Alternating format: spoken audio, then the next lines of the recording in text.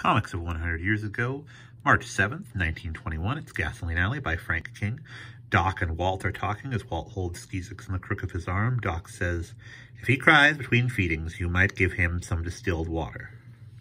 And now Walt holds a crying Skeezix and says, Oh, we're off again, are we?